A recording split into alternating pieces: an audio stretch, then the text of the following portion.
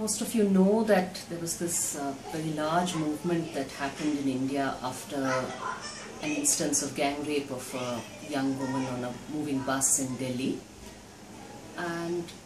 there are some things about that movement that I think all of us can think about. It's been several months since the movement now, and a new law has been passed in uh, India, uh, expanding and uh,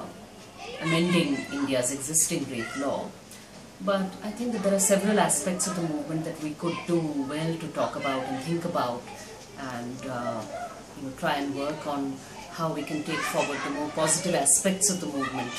in the days to come. Not, not only in India but everywhere in a sense.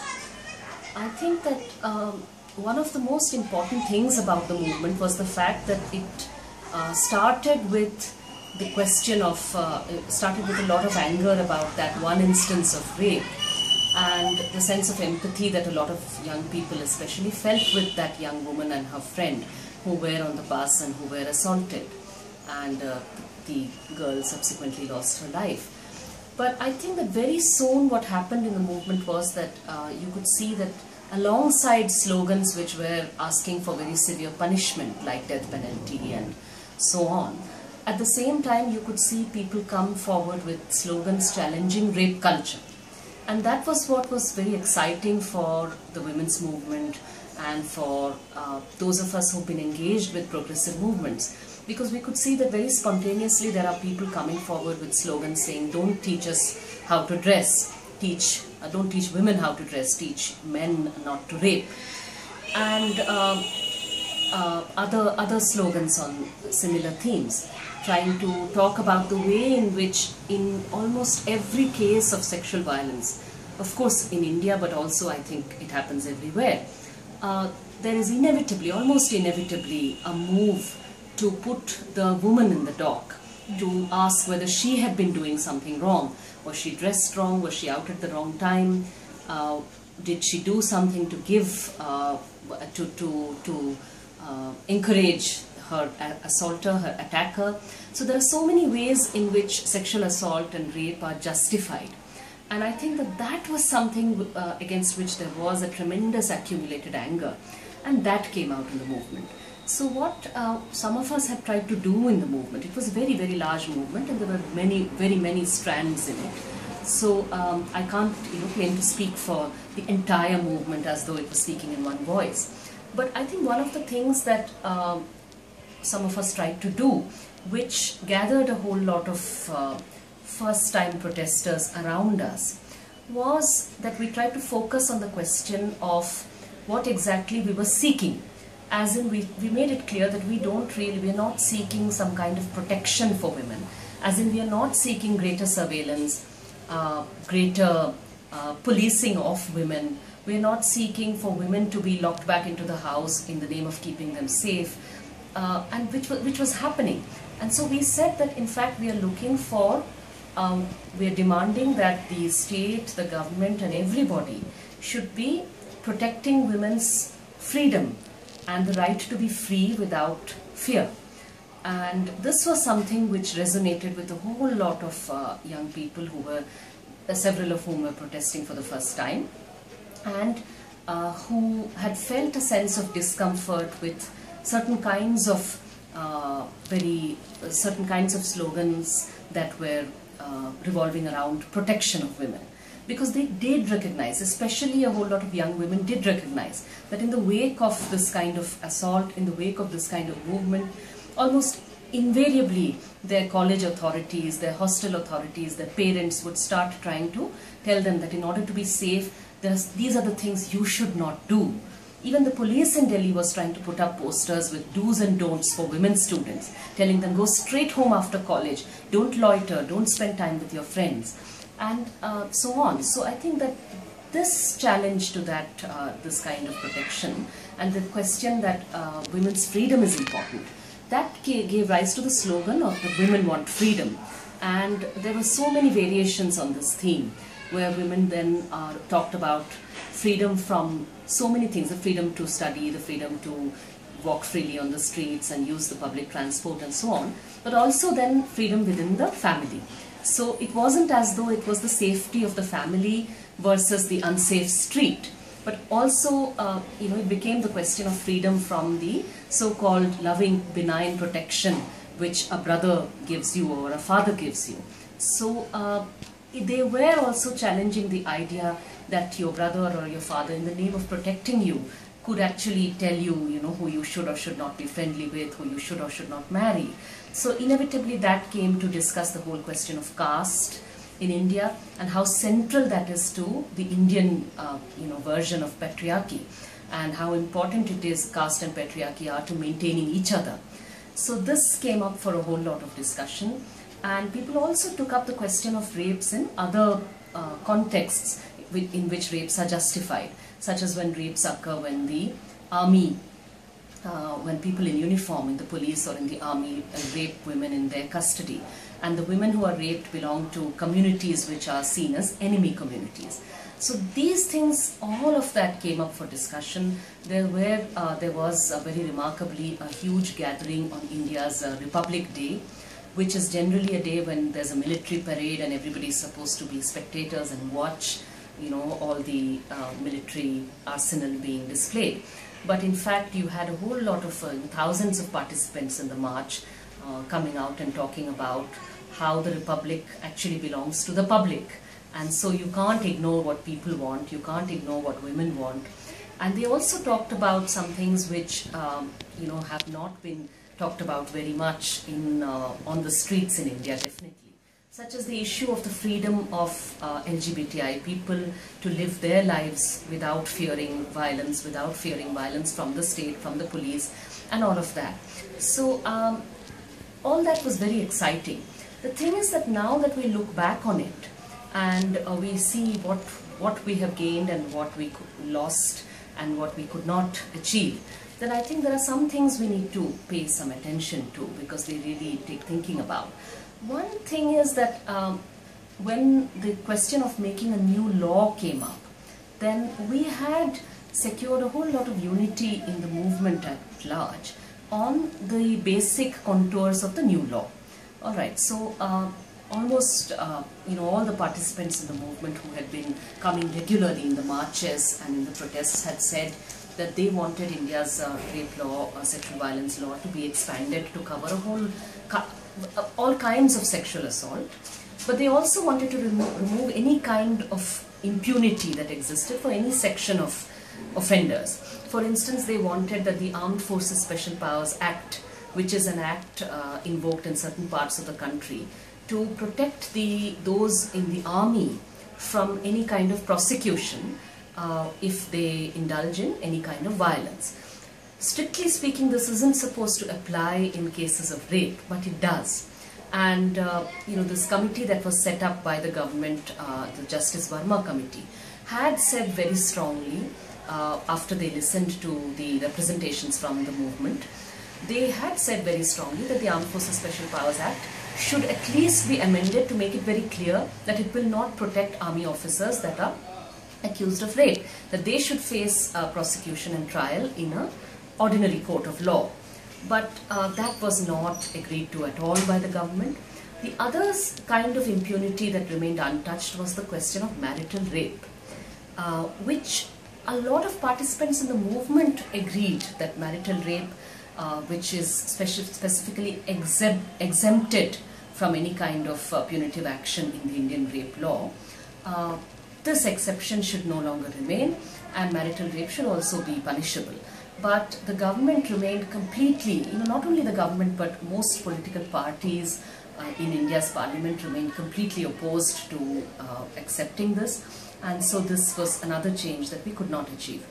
But we also had a major struggle trying to prevent certain kinds of changes uh, that uh, the government was threatening to make in the name of uh, the new rape law. All right. One of, and not only rape law, but in terms of keeping women safer. So one of the things that they did uh, try to do and they did succeed in doing eventually was to raise the age of consent in India from 16 to 18. The implications of this were very clear to those of us in uh, the women's movement who have seen uh, so many cases up close of young people between the ages of 16 and 18 being charged with uh, kidnapping and being charged with uh, abduction and rape and so on. So we had said that if you raise the age of consent from 16 to 18, then uh, consensual relationships between the ages of 16 and 18 will remain punishable. So this should not happen and uh, there are other things, there are other measures that the government could have taken to uh, ensure that uh, you know young 16 17 year old uh, women are not exploited. But this was not done and eventually the entire uh, you know the, the, government eventually brought in a law that said 18 age of consent at 18 and then under pressure from us they changed the uh, age to 16 in the bill. But almost immediately there was an outcry in the media a completely uninformed hysteria that was created over the question uh, saying that, oh, this law, new law is trying to make it acceptable to have sex at 16. And this goes against Indian culture and this will spoil our kids and our children are being exposed to sex and this and that. There was a whole lot of extremely ill-informed noise about all of this. And at the end of the day, the government and uh, other parties in parliament could use all this to raise the age of consent to 18 quite successfully and we were unable to prevent that from happening. Uh, the other thing we noticed was that during the uh, discussion, during the debate in Parliament over the rape law, you saw a very stark display of patriarchal attitudes by members of Parliament, you know, who talked about how stalking is, uh, if you're going to have a law against stalking, then how will uh, you manage to uh, ever woo somebody, ever persuade a girl to marry you because uh, you know, if you don't follow her, if you don't stalk her, how on earth would she ever consent to marry you and so on. So all this happened and uh, in spite of that a law that was an improvement on earlier laws was passed. Now that we look back, uh, you know, some months after the passing of this law, we look around us and we see that there are still ongoing uh, debates and ongoing issues and those of us in the movement who had tried to highlight and uh, you know foreground the questions of rape culture and the questions of uh, women's autonomy and freedom as being what required protecting rather than you know uh, physical protection which is basically an excuse for uh, curbing women's freedom uh, we, those of us who talked about all of that and had been concerned about that those sections of the movement now are looking at new kinds of challenges as well for instance, there have been proposals from the government to increase the CCTV surveillance, which is something we've pointed out time and again, that CCTV surveillance in public places or public transport will actually is likely to be used against women's freedom because uh, the surveillance would also watch you know women with their male friends and uh, those who watch those tapes would actually be police persons who have been known to act on, uh, to, to use, uh, you know, to, to, to uh, attack uh, young couples in public and threaten them, uh, to tell them to give them bribes or else, you know, you will be locked up, we'll inform your parents, we will uh, threaten you with, you know, we'll book you under some sexual assault law or the other, and so on. So essentially this is, this is likely to be used to militate against women's freedom. so this is an ongoing battle that we are fighting and we have seen how CCTV footage in the Delhi metro recently found uh, itself on porn sites because young couples who had been uh, you know sitting with each other in the metro and uh, been somewhat intimate those that footage had uh, found itself onto uh, porn sites. And uh, even in the in the in the context of that the entire debate there was an attempt to push the entire debate into a question of the morality of young people uh, on uh, public transport? Should they be intimate in this form? If they if they do it in public, then they can't complain if you know the uh, the, the thing ends up on the porn site and stuff like that. These are battles that we are fighting recently. There's one instance at uh, there are uh, two things which I'd like to briefly talk about. One is that the, there's a new the, the verdict on the December 16th gang rape case is due to come out very soon. And as we approach that verdict, there is one uh, very vexed question which is uh, occupying a whole lot of space in the media here and which is also something that we in the movement are having to battle. That is the question of what should be the quantum, quantum of punishment for the one of the accused who is a uh, juvenile. Strictly speaking, he is a few months short of the age of 18, which is the cutoff, you know, which is the juvenile cutoff age in India. Now, um, there was an attempt by the police to try and say that this offender was in fact the worst of them. He had been the most brutal and so on. So he was painted in these colors as being, you know, almost the main perpetrator. And so there's a whole lot of uh, public anger against that, uh, that uh, man. And there have been cries, including a petition in the Supreme Court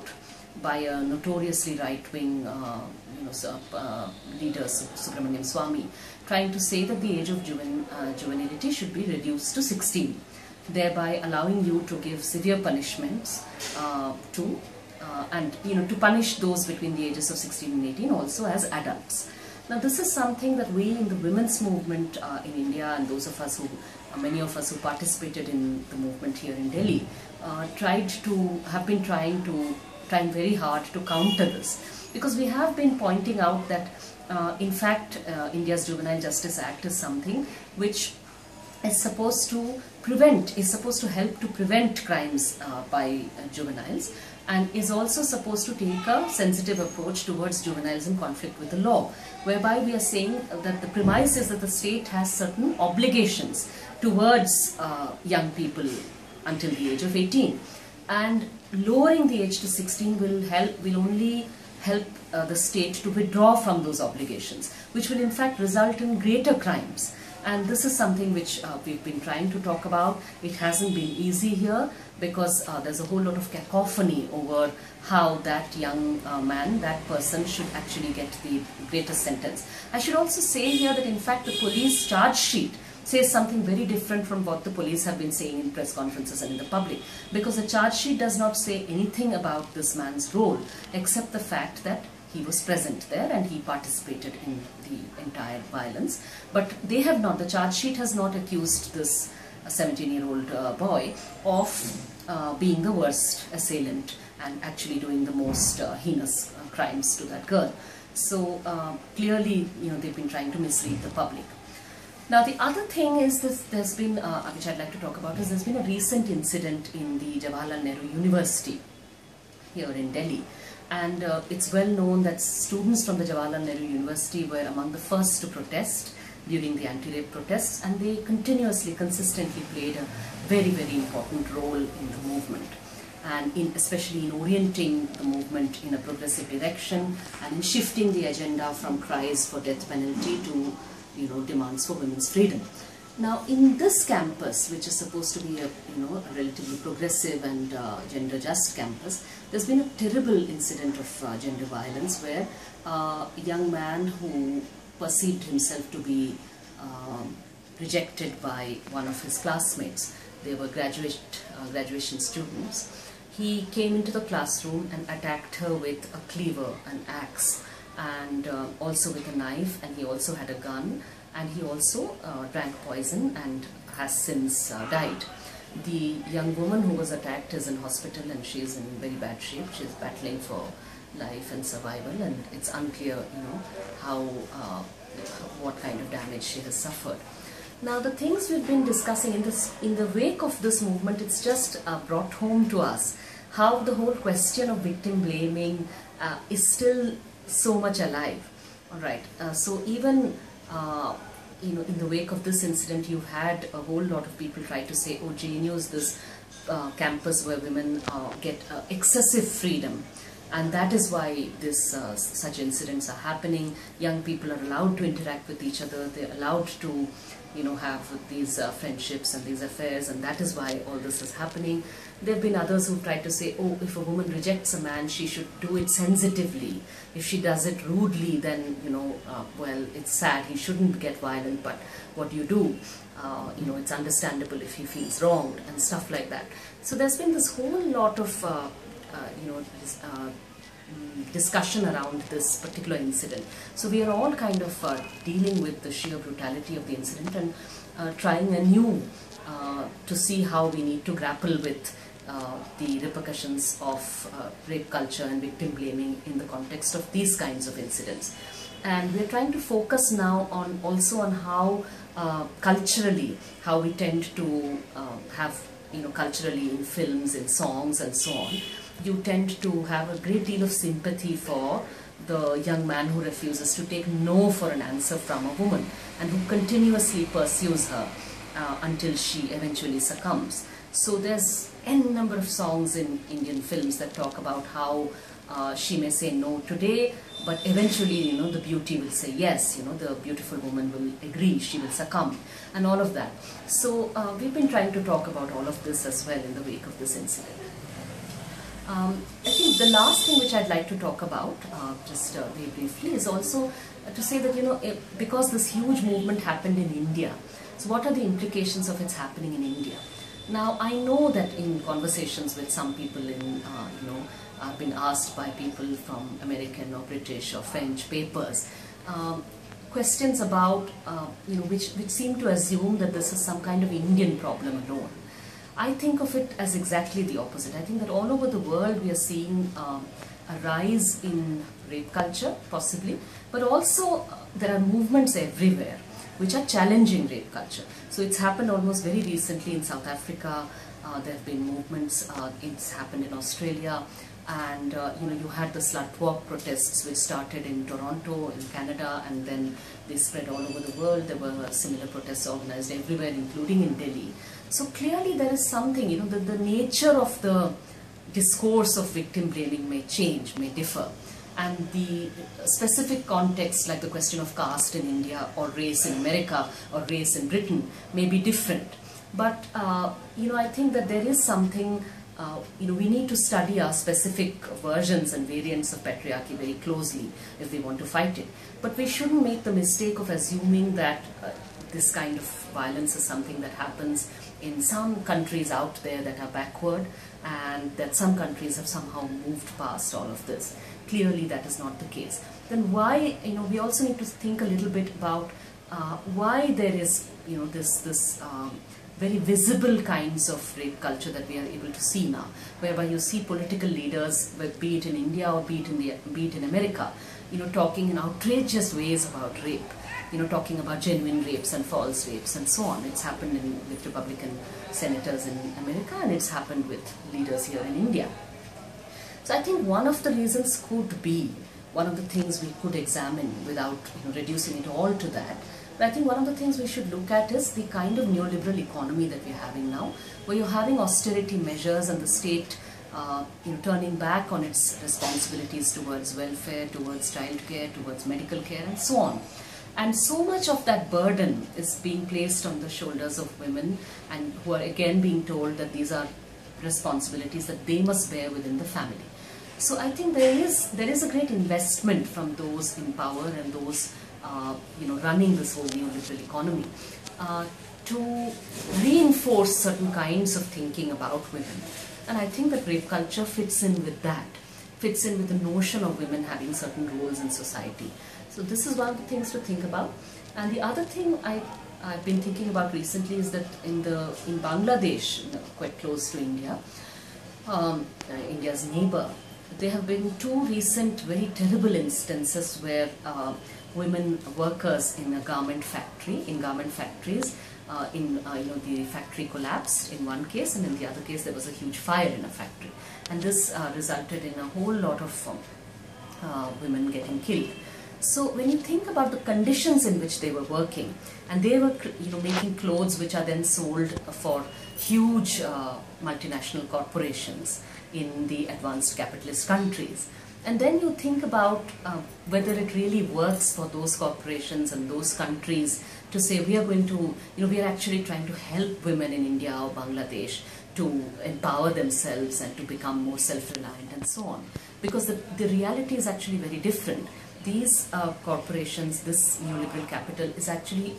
um, benefiting from the subordination of women and it's trying to maintain that subordination and the fact that women work in such exploitative, ill-paid, insecure conditions doesn't make their fight against uh, patriarchy any easier. So I'd just like to end by saying that I think that there's a whole lot of room for solidarity uh, you know, for movements across the world. And uh, if the Indian movement has uh, one thing to offer, it, it shows us that the question of, uh, you know, uh, questions about uh, equality, women's equality or women's freedom don't have to be restricted to a small uh, section of you know women who have learned to think in certain ways. It can be a mass movement. It can be, you can have ordinary people who have never agitated before, who have not been formally part of a feminist movement or of a particular organizational uh, culture or certain kinds of protests. They can feel for these issues, they can come out and be part of the movement. And the movement can uh, really shift the agenda in ways that make it very, very uneasy and very uncomfortable for those in power. And that is, I think, something that we can, you know, that's a big takeaway from this movement. And I think that's something which we should aim to do in India again, of course, but also in anywhere and everywhere in every country.